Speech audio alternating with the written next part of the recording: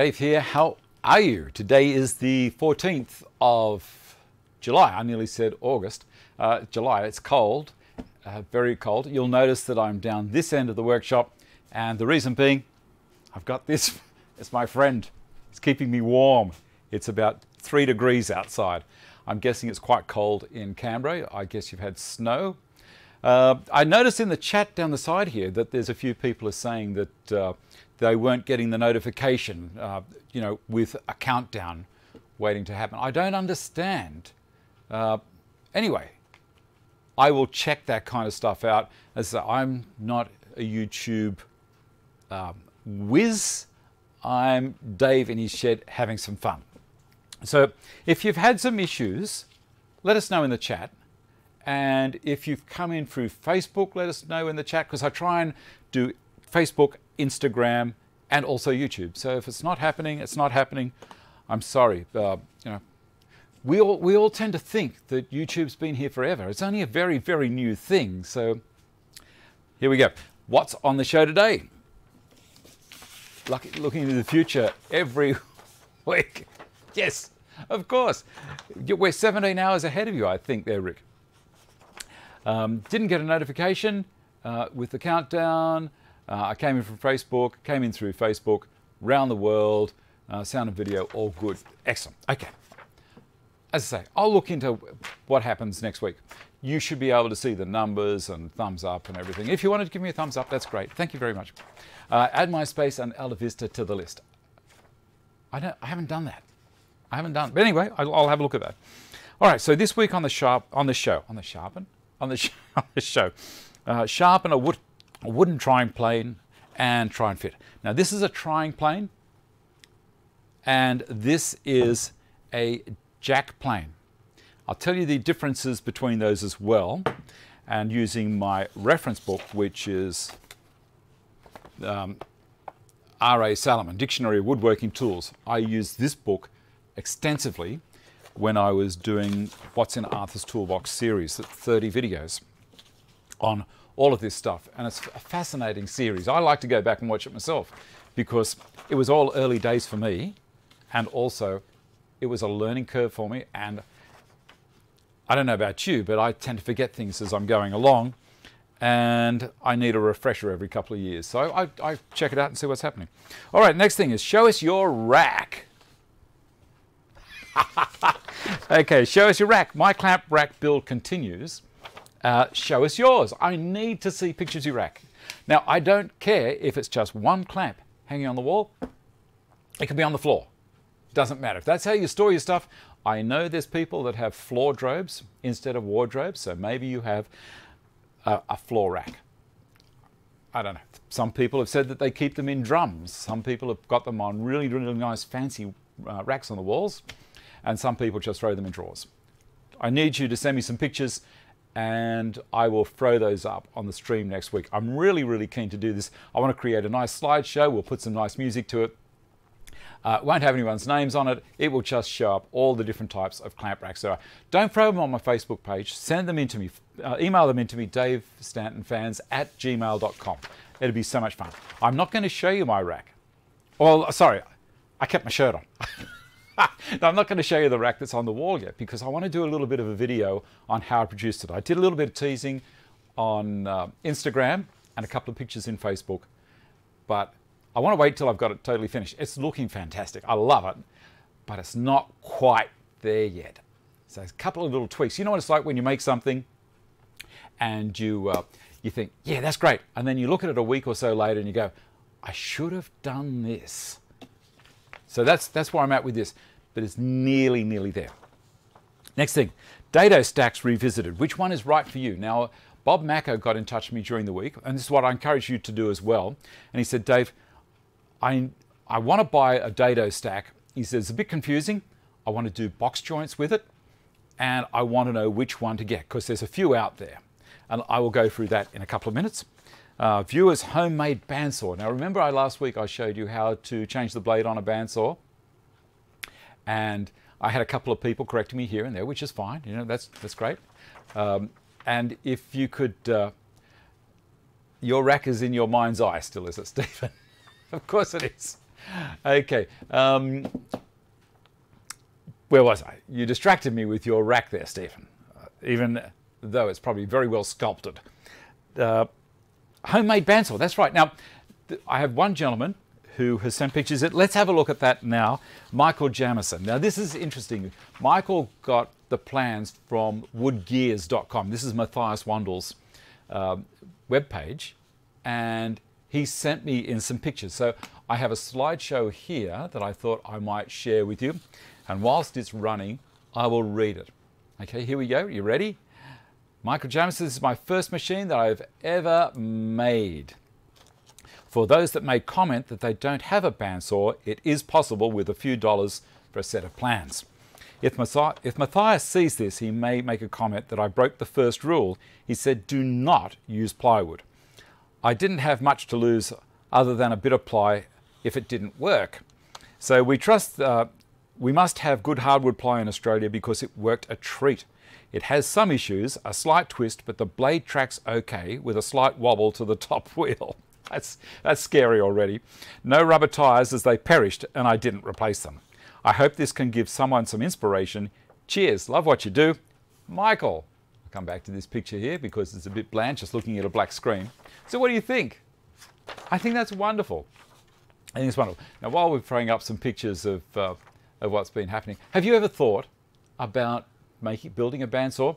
When I first started watching Matthias, he's a crazy man, crazy Canadian.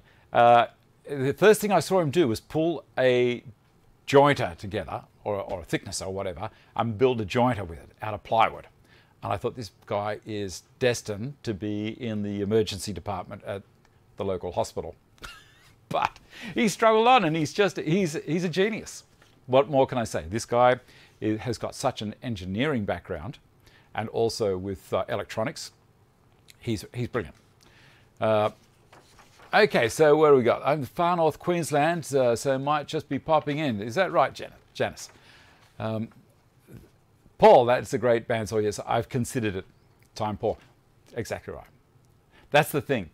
So you either build something for yourself, you've got plenty of time and not much dollars, or it doesn't matter about your financial situation. That should be okay. But uh, you know, the price of bandsaws these days isn't a lot. So if you, if you don't have much time, maybe it's going to be more economical for you to just go out and buy one. All right. Now, also, while I've got some viewers things happening here, I met, I met a couple of people at the Timber Tools and Woodworking Show. Oh, sorry, Timber Tools and Artisans Show. I've got to get that name right. The show's on in Melbourne soon, so keep your eyes peeled for that one if you're in Australia. Anyway, Timber Tools and Artisans. I got the name wrong last week. I'm sorry about that. All right, so I met a few, I met a lot of people at the show. It was fantastic, and you know, a few people bought the benches, which was one of the reasons I was there. But mostly to see people and uh, and and share the information that I have, which is what I like to do. Now, when I was there, I had a, a, a dad and his young son come up to see me, and this is Sally Happening.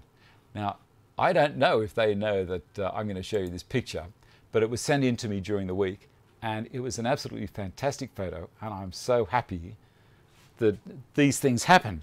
So it, here's, the, here's the story and I'll flick over to the photo. It says, uh, Evening Dave, hope you have been well. I wanted to get in touch and thank you for making one little boy very happy at the Sydney Woodworking Show. Please see the attached image. My son Emil still has that shaving. See that shaving he's got in his hand there? Dave Shaving, he calls it, with him and wants to be a woodworker like me and you. Thank you again. All the best, Sully and Emil. I think that is absolutely fantastic. Made my day. You know, you get people send stuff into me and it's great. You know, you read them and you, you enjoy having it. And every now and then there'll be something pops up and you go, you just sit back in your chair and think, well, it's worth it. It's all worth it. I, you know, it's so nice.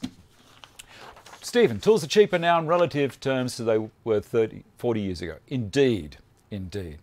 John, you thought it was a great show. Paul, you think that's great. So do I. And, and Janice, and that is an awe moment. You know, that's what I thought. Oh, that's great. Um, okay, now, Derek, it's not to say that I wasn't happy to see you at the show either when you rocked up, shook my hand, and everything. That's great. And I've got a little thing that you made and sent to me, and it'll be in the show today. So here we go. Next thing, we are going to talk about dado stacks. So I have a couple here, and Chris was making comment that he's got this one. This is the CMT. And also, I've got another one, which is the Torquetta, or Torquata, whatever you want to call it. Now, what is the difference between the two of them? The CMT is designed for people that don't want to do box joints. These are totally designed to have very sharp blades on the outside that will actually leave a dent. So the, the side of your trench will be perfect because the blade is shearing through the, the, the top surface absolutely perfectly. But the downside of that is there's going to be a wedge shape at the bottom and it'll go kind of flat, doesn't care too much, down again and then up. Now, as I say, if you want to do furniture where you've got a face frame all the way around, or it's a stopped dado, which means that you won't see the end of the dado, these are what you get. If you want to do box joints, or if your dado is going to track right the way through to the front of your shelving unit or whatever you're making, you don't get that one. Do not get the CMT if you're going to go that way. You get the Torquata, or Torqueta, whatever you want to call it. Why? It's a flat top stack, which means it's dead level right the way across. Sharp, crisp edges. So none of this kind of dented in. I'm going to draw it on a piece of paper for you because I think it's going to make it a whole lot easier. The, the next question is going to be whether or not you'll be able to see it. Okay. See that? Looks like Batman. His little ears poking up. That is what the CMT does. Those two sections are for cutting straight through the, the laminates. The Torquata, none, none of those little ears. So if, if you're doing box joints, well, you want to see the edge, and it does a decent job on the edge as well. Now, also I've had someone say to me, Dave, I can't find these on Carbatec's website. Now, I'm not promoting Carbatec here. I'm letting, just giving you information. I'll give you some inside goss. Carbatec does not and will not put these on their website. The reason being, it's not their product. Timbecon is the people, are the people that stock it. But because I got in touch with Carbatec at, at work, I said, look, you guys are crazy. We can't just have this one stack. We need this one as well for people that want to do box joints. So they got it in, but they didn't get a lot, but they do have them. So all you have to do is give them a call and ask for them. Say, Dave said, You've got the Torquatas there, so they do this one and the six millimeter flat top saw blade. So both of these, they, they stock, not a lot, as I say, but they do it as a service for customers that are in the store and want that difference to be able to do box joints with. Now you can do box joints with a router table as well if you want to. Uh, is a dado stack better than a router? In if you need to do a whole lot of dados and rebates, and you don't have a, you know, a lot of time lying around, the dado stack is going to be quicker. So much quicker. A lot, lot quicker. But again, I like to do my box joints with a spiral up tungsten cutter in my router table. That's just me. Brian, sure, Torquata also does imperial and metrical as well. Okay. Um, there you go. I, I'm trying to answer questions as we're going along. How's the time? a quarter past. So, Bob, I hope that answers your question for you. Uh, if anyone else, if you've got questions along those kind of lines where you you want to know what product is being sold and, and the purpose of that product, and you see there's two that look at the same, but there might be some difference, just ask me and I'll see if I can find out for you if I don't know. If I can find out, I will let you know and I'll also share that information with people on the show. Excellent, Paul. Thank you. Now, what are we going to do next? The next thing, I think, is the trying plane. I just have to get Batman wings back up here and read the sheet. So we've done the clamp racks. As I say, send me pictures in to Dave Stanton fans at gmail.com. Please, please, please do it. Do it now while while you're watching the show. You know, don't don't run away and go out to the shed and take a photo. You stay here. but when the show's over, I want to see heaps. I want my email box to be flooded. I need you. Look, everyone's got a clamp. There's not a biggie. I'm not going to put your name on it. I just want to see the pictures. Don't send me a heap. One picture each. Send them in to me. I'll do a massive big slideshow and we'll throw it up. Okay? Bob, just what you needed to know. Great. Now, if I don't get any pictures, I'm not going to do it. If I get one or two, I'm not going to do it. I need a lot of pictures. So please have a think about it. As I say, I'm not going to put your name on it. You're not going to be embarrassed if, if you feel as though you're not up to scratch as far as you know everyone else has got all of these lovely clamps. That's not going to come into it. I need your picture of your clamp in a clamp rack of some sort. Have I made myself clear? all right, there we go. So the next thing, Dado stacks all done. Viewers homemade bandsaw, all done. Picture of uh, Emil. That's, I love that picture. I'm going to show it to you again because it's just, it was great. This is what the shows are all about. It's trying to stop the generations that know about what to do uh, dying off. Look, I'm an old, old character, and I want that young guy there to go forwards in life and you know be amazed with, with things like this. He, he's probably never seen a wooden hand plane. That's, this is one of the reasons I do this show. I, I, want, I, want, I want this not to die out. I, I don't want this kind of uh, heritage that we all have. You know, I, I try and cater to this, I also try and cater with the CNC. So I, I, I'm trying to give you as broad a spectrum of information as I can. So here we go. Ron bought my DeWalt 8-inch dado set from Amazon last year for minus $122. Is that what you said, Ron? Oh no, $422. Good. Okay, so here we go. The next thing is going to be cleaning up the blades. Now, I don't know if you saw during the week, I popped a little thing on Instagram um, where I was using this trying plane across the top of some plywood. Now I used this because there was no um, chatter or, or kind of metal to plywood vibration. This thing slid absolutely beautifully across the plywood. Pardon me, it's doing end grain and also long grain in plywood. So it, it just did a magic job. So here we go. I'm going to take the blade out of this one. And why do they call it a trying plane? First of all, we, will go through the, the theory Jack plane, trying plane. You see, one is a little bit longer than the other.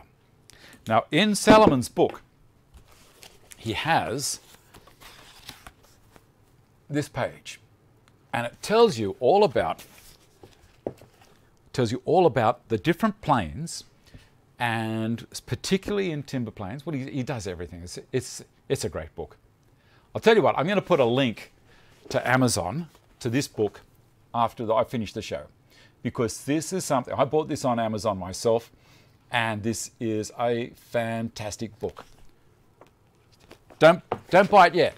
Or if you do, if you want to go and search for it, jump onto one of my links, open up the show more below, and go into Amazon through one of my links because the show will benefit a little bit for it, and that's that's nice. You know, it helps me cover the costs. So I will put a link for this book as well after the show pardon me, after the show for the American site because I know that they've got it. So you need to search for Dictionary of Woodworking Tools and just write Salaman, S-A-L-A-M-A-N. as I say, I'll put a link there. Uh, what do we got here? All right, so now the planes, I'm going to work on the jack plane. The trying plane, we know it's a trying plane because of the length. The length is 22 inches, which is 560 millimeters, close enough. Now, in the book here, uh, 22 inches from the Nicholson 1812, Holtzapffel 1847, we're looking at 22 inches of trying, and also the Sheffield list of 1910 is a trying plane as well. Now, if you're into the metal planes of that length, the Spiers 1845 and Norris 1900 are jointing planes of that size. And so is the Stanley Bailey of that length, 1870 and also 1960. But this is where there, there were no, sorry, the longer jointer planes in, in the Nicholson 1812 and Holsat in 1847, they're 30 inches and 22 inches. So they're another 8 inches longer than this bad boy. Now I've got a number 6 here.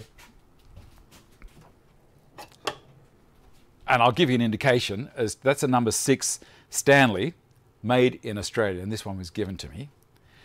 And it is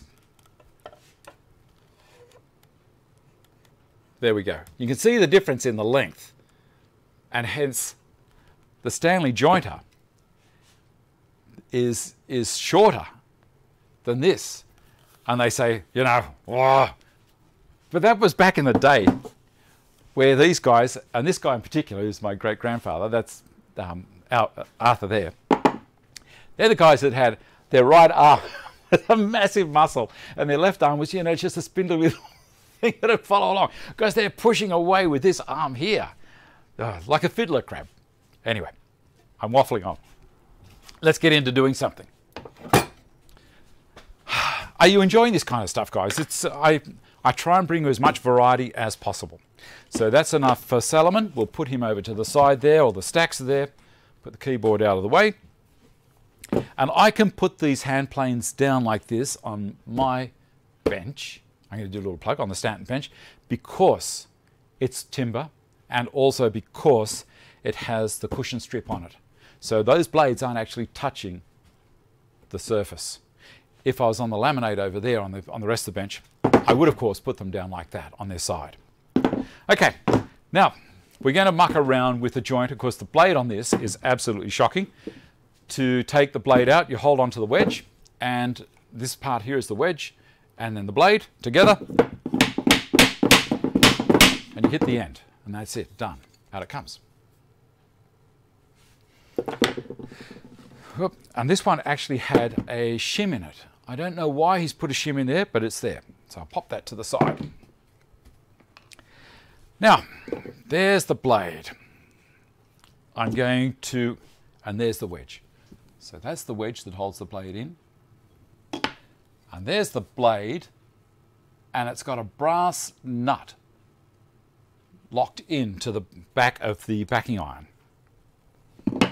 So I flip her over and I'm going to undo that.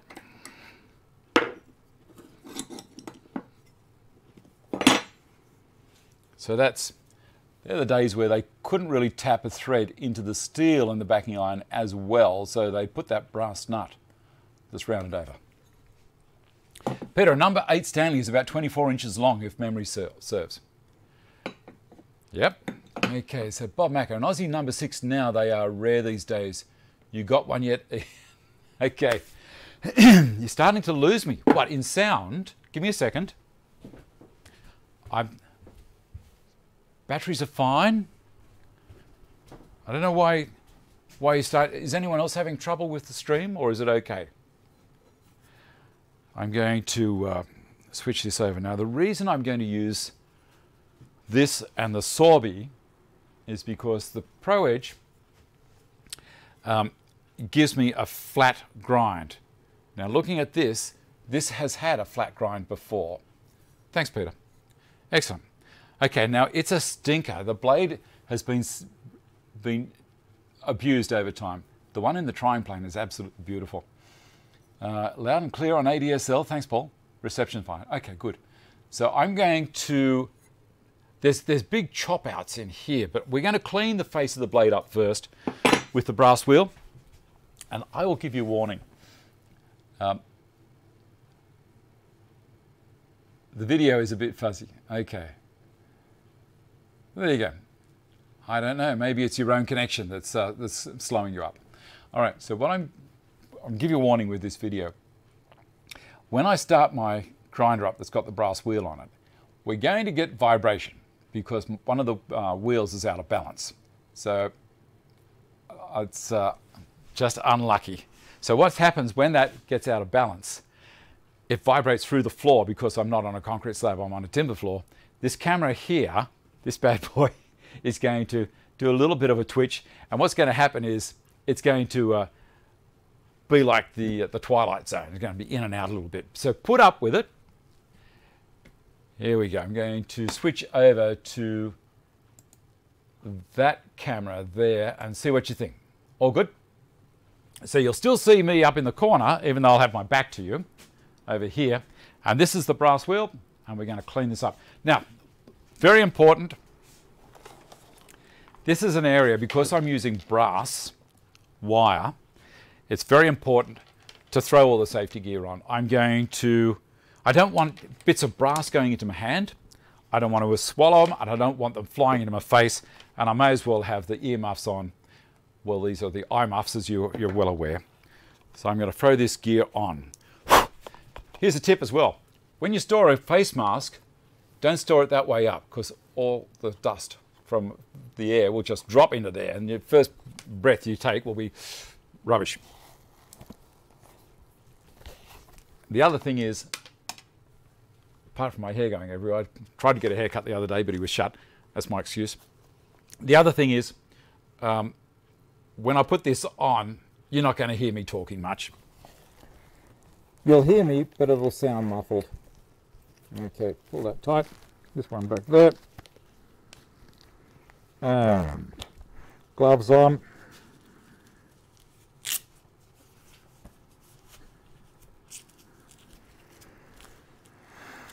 Oh dear.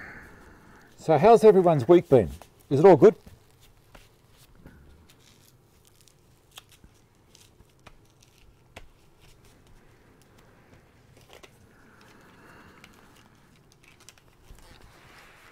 These on. Round that way. Okay, now get ready for this thing to start wobbling everywhere. See what I mean? Alright, let's give it a bit of a clean.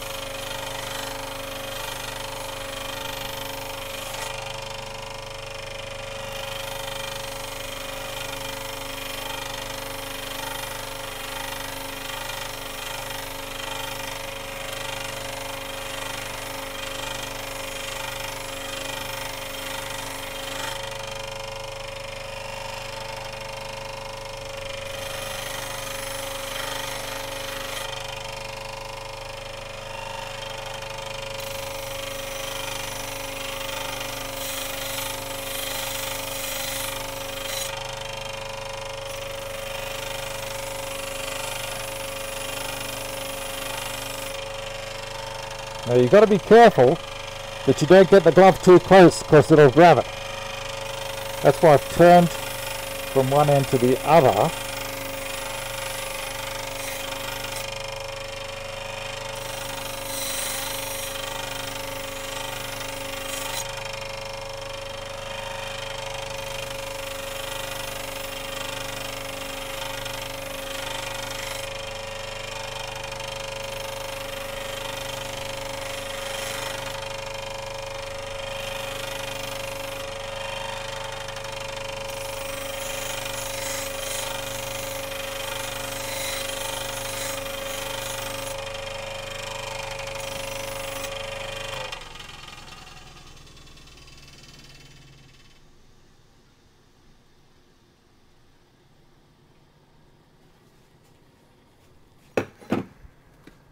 There we go. I'll switch it back to the other camera for the moment. Give me a second. So there you go. That's, that didn't take too long. And we've now got the blade a whole lot cleaner than it was when I took it out. Now, you'll notice that I didn't really work the end with the brass brush because I want to do that with the diamond plate or with some emery. I think I've mentioned before, the end of the plane blade on the bottom is not as crucial to getting in that dead flat, uh, like the whole back of the plane. We need the area across the, the end there, right on the tip, we need that flat. Because the difference between that and a chisel is I don't do anything called paring with a plane blade. So if if I um, I need to get that flat so that the intersection of the bevel and the back is gives me a perfectly clean line. But it doesn't matter if the back is just tipping in ever so slightly. If it was a chisel, yeah, you've got to spend a whole lot more time. You've got to get the whole thing flat so that you compare with it. But because this is in bevel down, I think, on this one, because it's in a blade, in a plane, doesn't matter. So I need to get this square, and we're going to do that with a Pro Edge. Let me have a quick read. Um, advice prior to me deciding which gauge to buy, fine, I didn't get the rest of that, uh, but you can shave with it. Uh,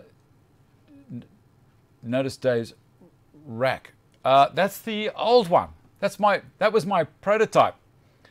Um, so this is, this is my prototype rack and it was the lead up to doing the good one, which is on the wall over there, which you're not seeing yet. so you thought you'd, you thought you stuck around the edge a little bit there, Wayne. Okay, what's the next thing? Um, I'm going to bring I'm going to bring the Pro Edge over onto the bench here.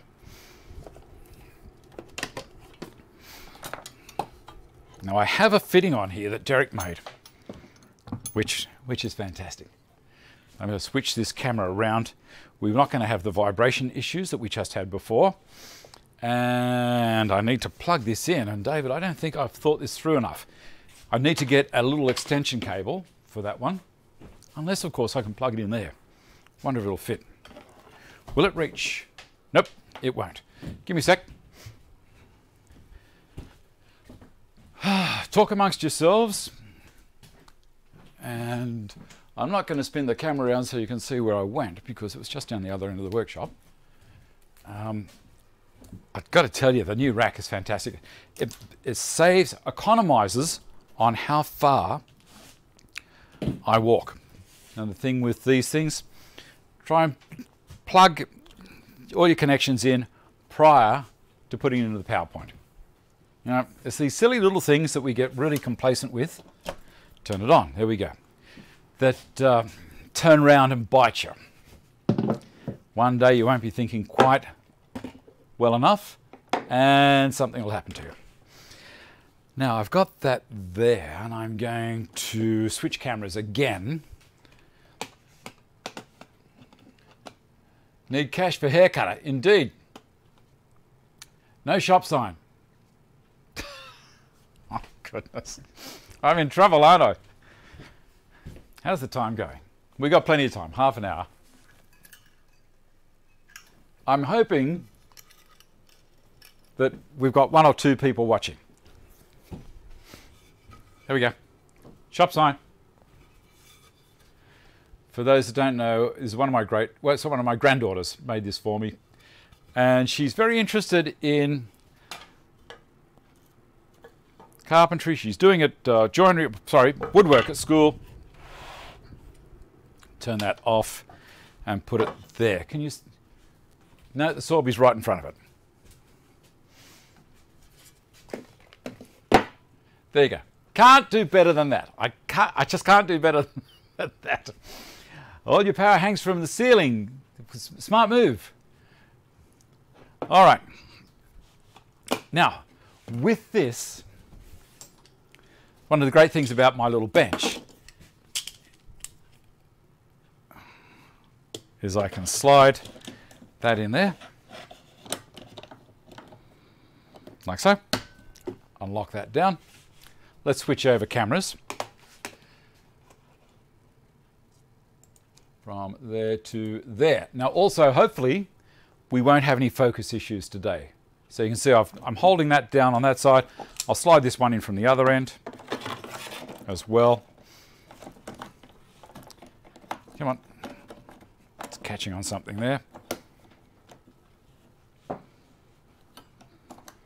This is one of the older style.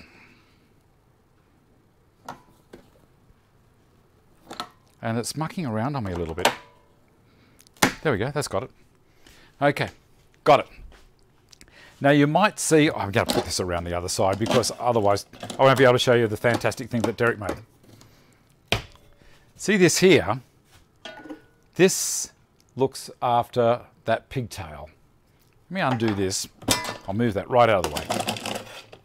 Take it off. It might might sit there.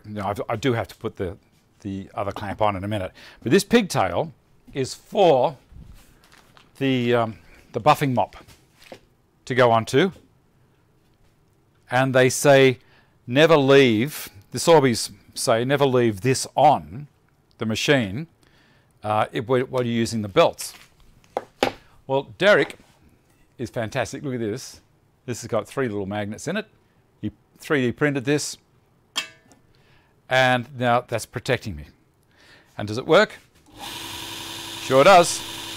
So this isn't spinning, that's just sitting there. It's magnetized itself onto the guard. Well, it's holding on by the magnet. There we go. I love it. Now I've got a 60 grit belt in there.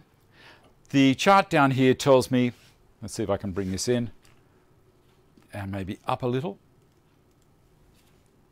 I don't know why that's all happening. About there. That's covering my clamp rack just nicely. all right.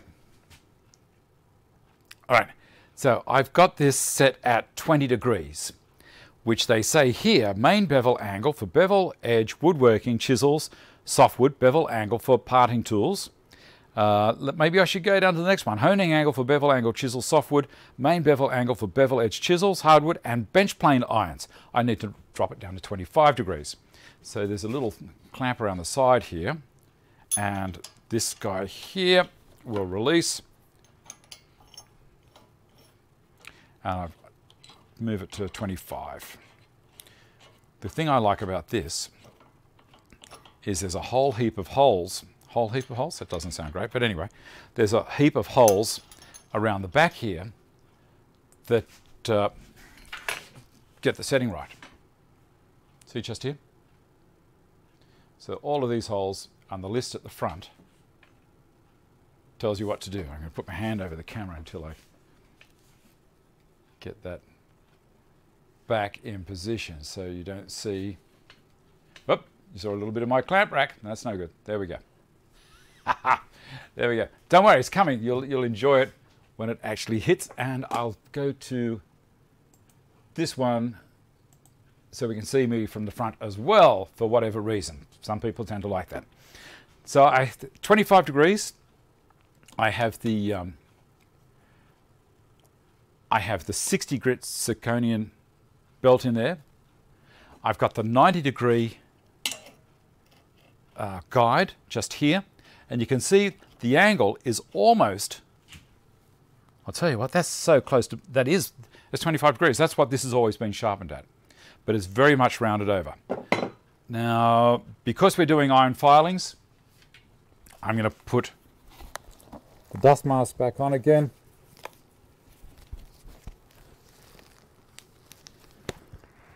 And I did say I was going to put, put the cover on there, slide this along.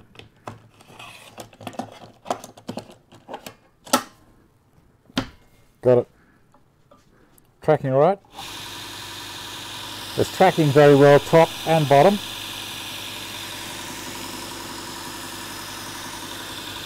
Here we go. The bevel facing down, of course.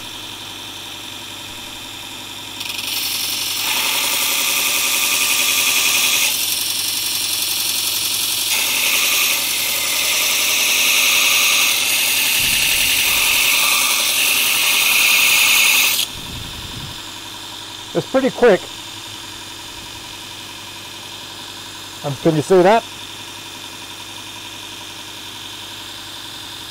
This is why I don't use the grinding wheel on my bench grinder.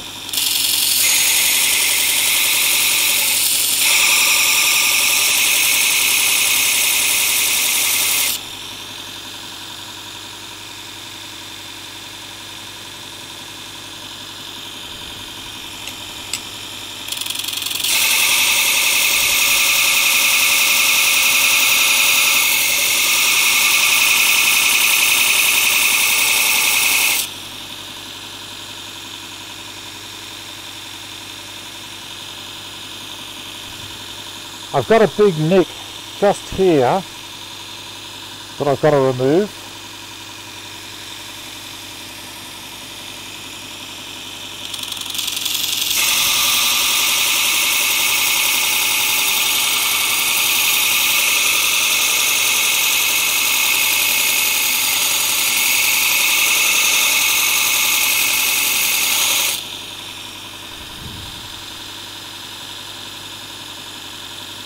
Looking good, nearly there.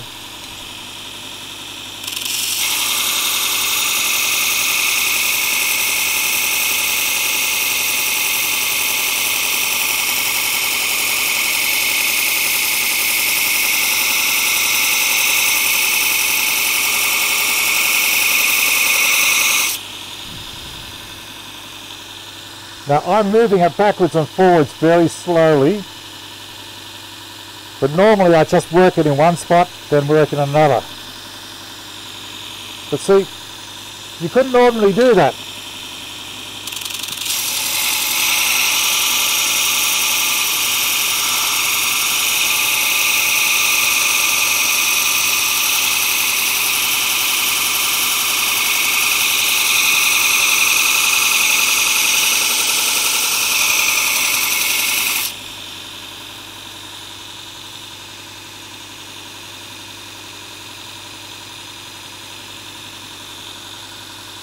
Little bit more in the corner and you can see there's a nick just here. Now it is starting to get warm now, I'm removing a fair bit of metal, but I can still do that. And there's no blue, there's no bluing at all on there.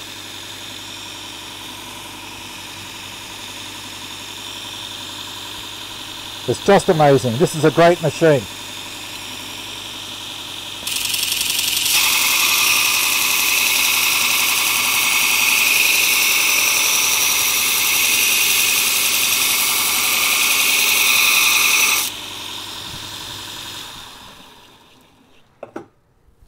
Take this off for a second. I just noticed one of the comments there, why isn't the metal getting hot? This is not a grinding wheel, so that if I was doing this on my grinding wheel, I'll tell you what, this would be blue and I would have lost all of the hardening out of it. This is, it's just, this is a great system. Um, this is very quick.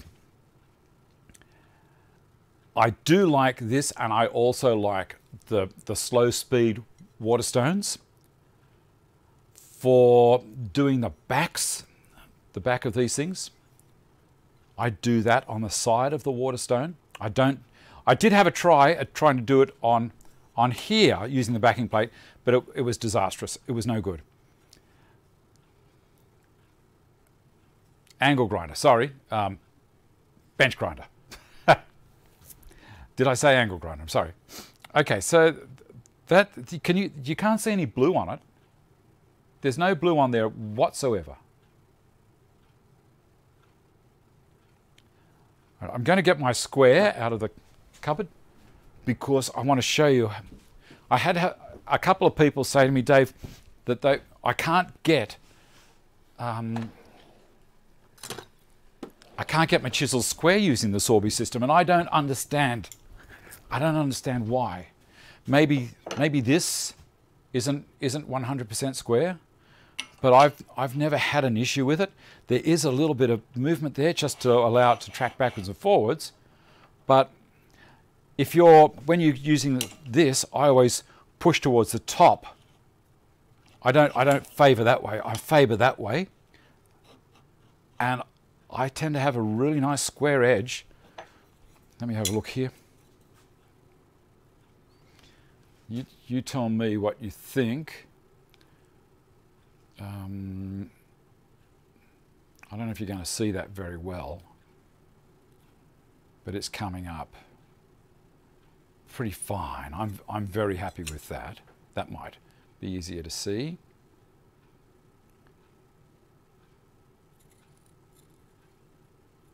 It's very square as far as I can see. All right, now, I, as I said, it did get warm, but it didn't get really hot. See, there's no, no trick photography. That's, that's how it is. May, maybe not. why isn't the Stanton bench available in the USA? The reason being, and I told everyone this on the show, I couldn't get product liability insurance in the States. Anywhere in this, anywhere else in the world, not a problem. But you guys are litigious. You, everyone wants to, litigation everywhere, and so most insurance companies they just pull back and say, you know what, anywhere in the world except for the states, we'll cover you. So I had to can it in America. Sorry. I'd love to sell them in America, and I tell you what, the person Luke from TBDC&C had set up and everything was going fantastic. And it was really a bad day for him when I told him, I said, Luke, we can't do it anymore in the States. All right. Stephen Warbank, it's the low speed of the belt that keeps the blade cool. Thank you for that, Stephen. All right, well, I'm going to keep on until we get this down, and then I'll switch through the belts as well, and we'll get a really nice edge on it. And what I'll do is I'll show you how to set it in as well. Give me a second, we'll turn her on.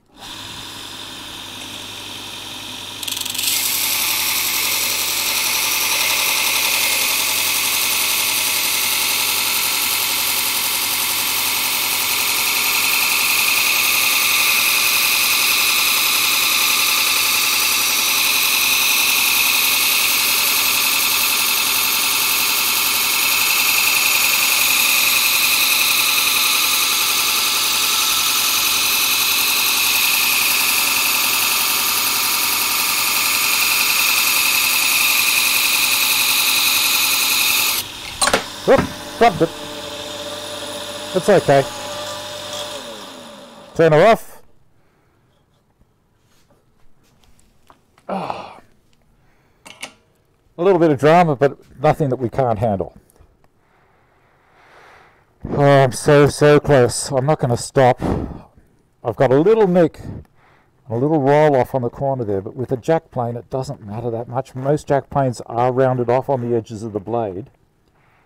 The reason being, it when it's doing a ploughing, because this is for a rapid removal, it doesn't leave flat slots, it kind of leaves dips, so it doesn't tear. Won't be long.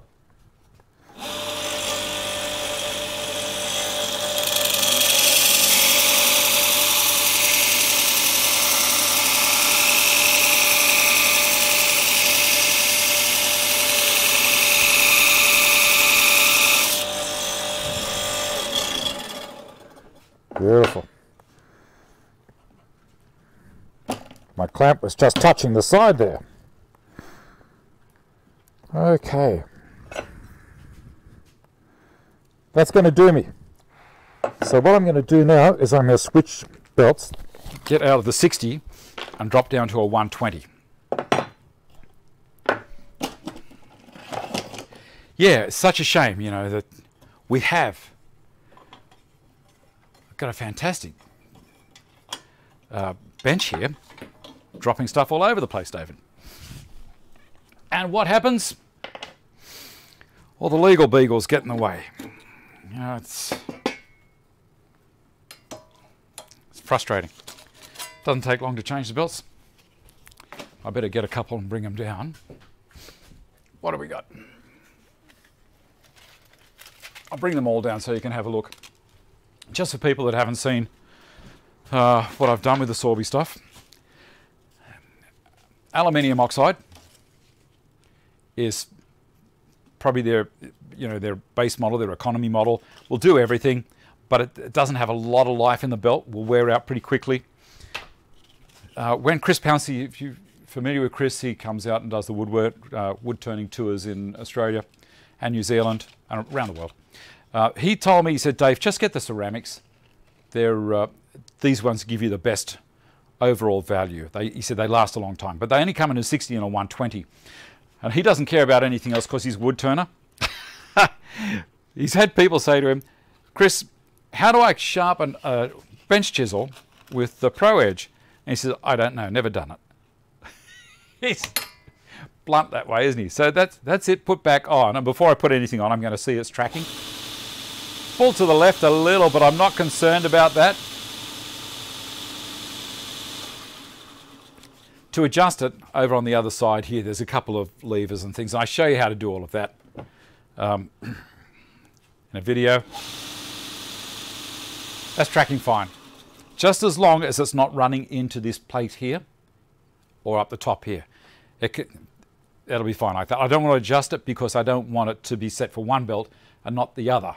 So it has that little bit of play there. We'll put the uh, cover back on.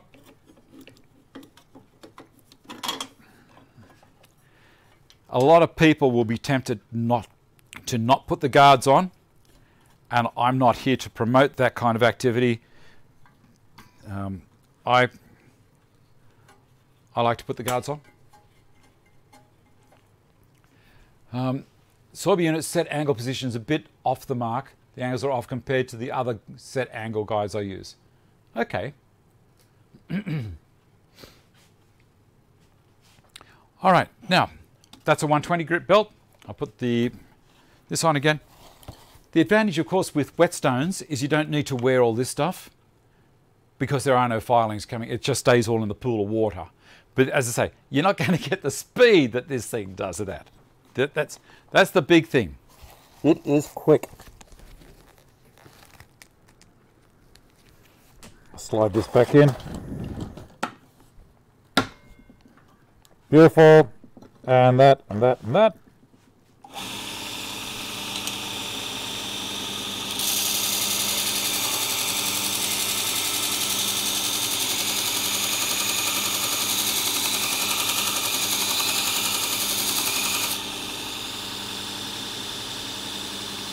Well, I didn't have to visit that long, did I? Nearly done.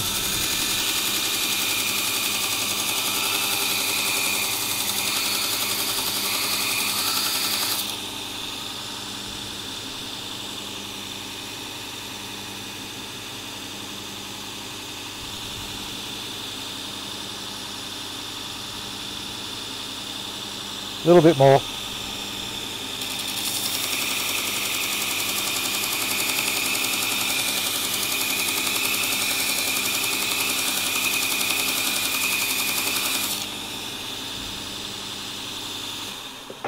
That's that belt finished.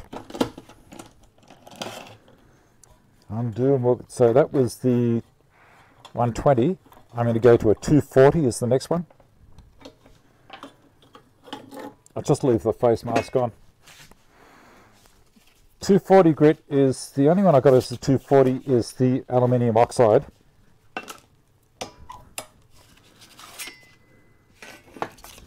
And again, the direction the arrows are going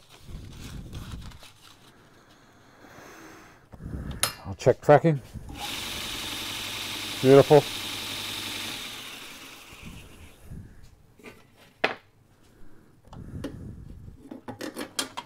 What do you think of this little thing? I love it. Derek is such a clever fella. Now, I don't know if he's got them or if John might have them on the Yellow Box Shed. It's yellowboxshed.com.au he might have them there. Or they might be running around saying, Dave, what are you doing? We haven't got them on the site yet. Come on. okay, again, look at that. So now we're going to hit it with the 240.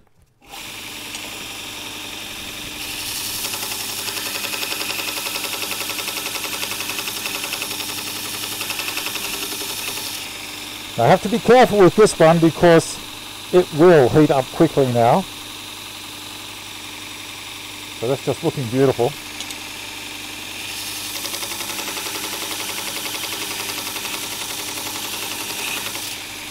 Done.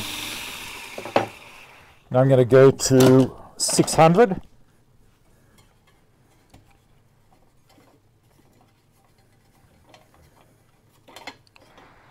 Yeah, John, you keep on getting sick, but you know you've just got to stop that. I mean, everyone's everyone's over it. I'm sure they're not over it as much as you are. Okay, the next one is called a Trizact belt. I'll take this off. This one's called a Trizact belt, and I don't know what they're made of. Maybe it's Trizact. These are done by 3M, these belts, and there's no direction on them either. So you can go either direction. So they're a pyramid block pattern is what they tell us. So this is 600 grit. And now we're really in the area we've got to be careful that we don't burn. Because these things are polishing now really more than doing a whole lot of cutting. So as I say, the 240, how nice is that? You know, from what it was when I first started.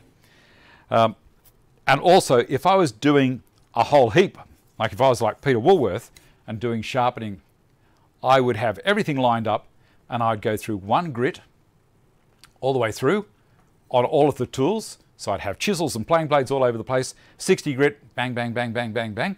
Change the belt. 120 grit, bang, bang, bang, uh, and so on and so forth. I'm going to check the tracking. That looks good to me.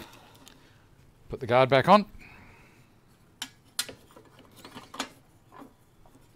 Now I'm trying to keep my eye, so are you, John. I'm trying to keep my eye on the chat at the same time as doing the demonstrations.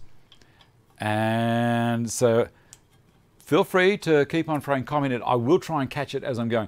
So you'll see me in the top, top image. Where is it? There. and also you're getting the close up of what's happening here.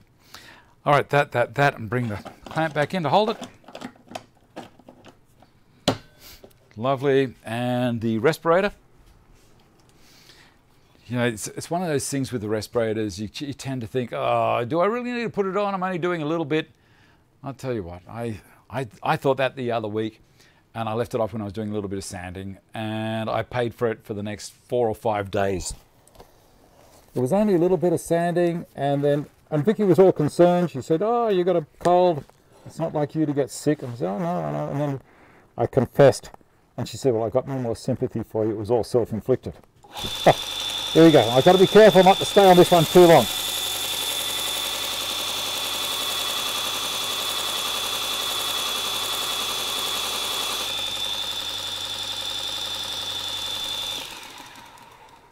Now you're not going to be able to see that as much as I can here. But that, that's it. I don't do any more with that one. That is absolutely beautiful. That's that belt. As this is so quick. So 600, now we're going to go to 1200. And we don't really need to go more than 1200 because you know it starts to get to a point where it's I have a 3000 as well but there we go. I have them written on there on the inside because there's no markings on these. So I've just written 1200 there. You may not be able to see it. Again, no direction.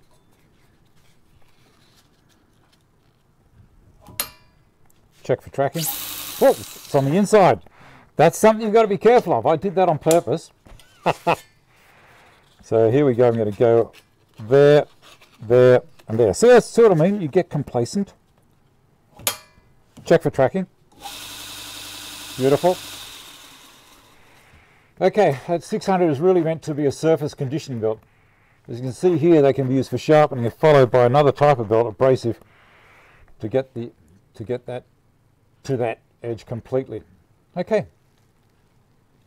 Jesus, three sheets of uh, yeah, good on you, Ron, but uh, I think you'll find that it's going to take you a whole lot longer if you're doing a heap of them. And it depends on what you're after as well. I'm taking it all the way through just because I know there's a fair few people out there who, you know, think like like it to be extreme. But a lot of people take the 600 and stop. Here we go. Now this is the last one I'll go to. 1200 is going to be fine.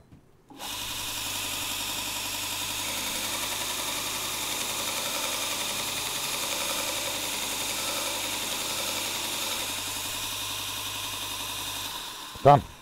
There you go. That's absolutely beautiful. I didn't put the clamp back on. All right, that's enough for the sharpening.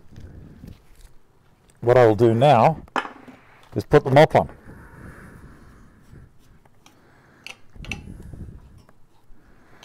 Bring it around a little bit to there. Slide this down onto there. I'm going to have the mop there and I'm going to just run it underneath. I've got to put some polish on it. I have it here somewhere. There it is. So this is a honing compound. I'm going to dose it up.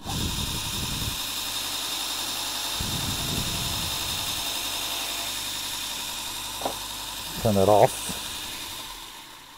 Whoop, lights. Give me a sec. That's the automatic switch in here that turns it on and off. I'll bring this around to there. And you might be able to see it just a little bit easier. Again, this is going to make it look a little bit green.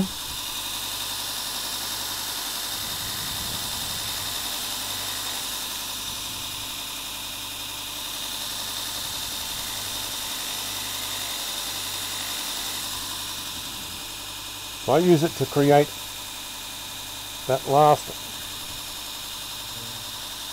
angle a little bit underneath.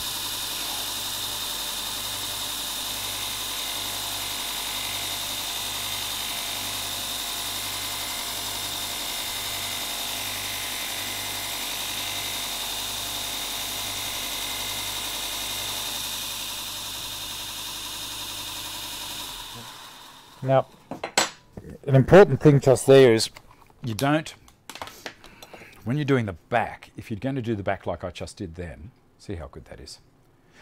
If you, if you tip the blade up too much, what's going to happen is what you're going to do what's called rolling the angle. You're going to roll the edge off it, and so you won't have an edge at all. That is so sharp.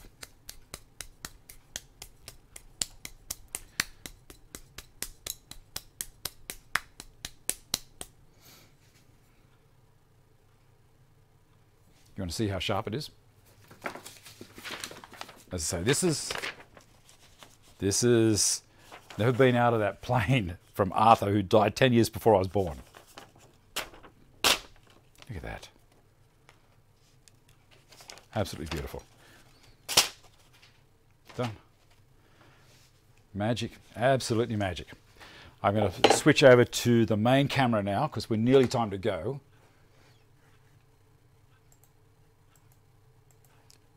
To there and move this one out of the way. And I'll pop the machine off, disconnect it, get it out of the way.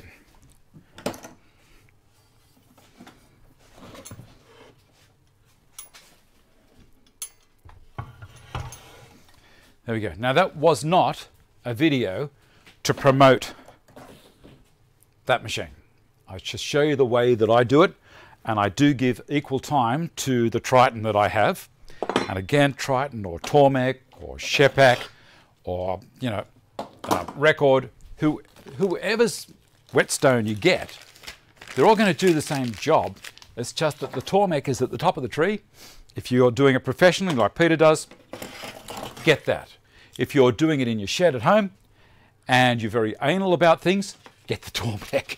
If you're uh, happy just to cruise along and sharpen your chisels, get get the get the Triton. The Triton is a great machine. Uh, it's and it's you know half the price. The motor's not as strong. It's 120 watts instead of a 200 watt. The Tormek's got a 200. It's just you get what you pay for, and if you need the Elite, grab it. If you don't need the Elite, like if you need a Mercedes or a BMW, and that's what you'd have to have, and you can afford it, get it. If you need a Holden or a Ford, and that's all you need, get it. You know, they still do the same job. They get you from A to B, just different styles of comfort, if I can put it that way. Now let's try and put this back in and see if we see if it works before I shut the show down. There's the blade into the backing iron. And tighten them up there tighten that up, put the shim back in that Arthur had. And how I do it is I leave the plane, which, sorry, Zoe, we're going to move that out of the way. I leave the plane on the timber surface like that. And make sure that's all good, which it is. It's just it's twisted a little bit as I tighten it up. Good. And that is so square. Oh, that's it's beautiful. All right. Now, we put this in with the screw down. Of course, this is a bevel down blade, or plane, I should say. Put that in until it touches the bottom. I've got my finger against the blade, holding it in against the back of basically the frog, if you want to call it the frog. I've moved a little bit, sliding the wedge in after it. Okay, so the wedge is in. Next time for clamp. Um, more ideas to add. Okay, so we need pictures of clamp racks, don't forget. So what I'm doing, I'm going to hold it down and I'm going to tap that wedge in a little bit to get it nice and tight. Then this is best done by pure daylight. I'll try and struggle through here with artificial light, but I don't know how it's going to go. So now I can tap the blade ever so slightly, and that is, that's perfect. uh, you want to see how it works? Let's see if I've got a piece of wood. Um, surely I've got a piece of wood kicking around here somewhere. Give me a second, I'll grab one. There's a piece of pine, that'll do. So I'll put it in the bench. Move that. Put my clamps. Coming from either side. I'll switch the other camera on while I'm doing this part because you might be interested to see this bit. Give me a sec. Sorry, we're going over time. Vicky's going to get me. Um, that one. And up just a touch.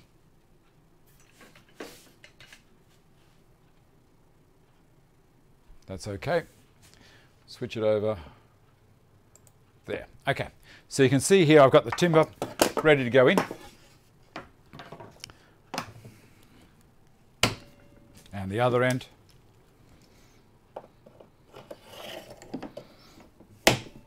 Done. Let's see if it works.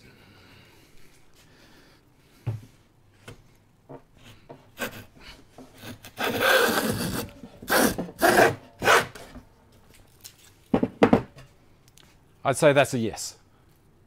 now remember, the jack plane is designed for cutting coarse, you know, getting material down quickly. The trying plane is a different animal. This is the trying plane.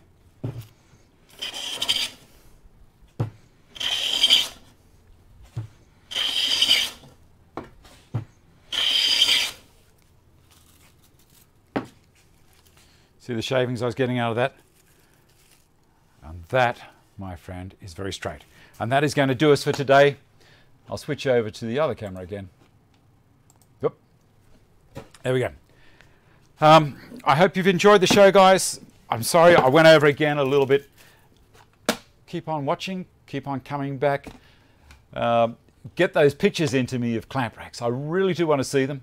And I'm going to try and get a haircut soon. I went down on Friday to get one, and the barber was shut you know, didn't say anything on Google, you know, what's happening. I don't know. What do you do? Let me have a look down here. Intro and text. Thanks, Dave. Thanks so much. That's fine. Robert. Thanks, Derek. Uh, John. John Masters. Um, John. Time don't both me. I, I, I've got to find what's happening in the in the chat a little bit further on. But as I say every week, thanks for watching. Give me a thumbs up if you think the show was worth it. If you didn't think it was worth it, well, don't do it. But don't hit the thumbs down. You know, that's just annoying. um, and and and I am clearing the shows after a week, and they're going over to my second channel. So subscribe to the second channel, and don't forget to ring that bell beside the subscription sign. So down here somewhere, down below, you'll see there's a, a bell and a subscribe button. Click that and you'll get noticed. Or sorry, you'll, you'll be notified, I should say. Subscribe to this channel and do the same thing for that. And then maybe uh, if you've rung the bell, you might have got a notification. I'm not sure. I've got to research that a little bit. But if you can, that'd be great. Uh, that's about it. Share the channel around, let your friends know as well. Uh, let's look. Did you see April Wilkerson just got a million subscribers? Good on her. I think that's fantastic. Big round of applause for April. And uh, she's done it tough in, in a man's environment. And she's put a whole lot of guys to shame as to what she can do. She is out there, and congratulations, April. Uh, Ron Paulk needs to get a haircut, like me. and and uh, I think that's about it. Thanks for coming. Thanks for watching. Uh, be nice to each other and look after yourselves, and I shall see you next week. Bye.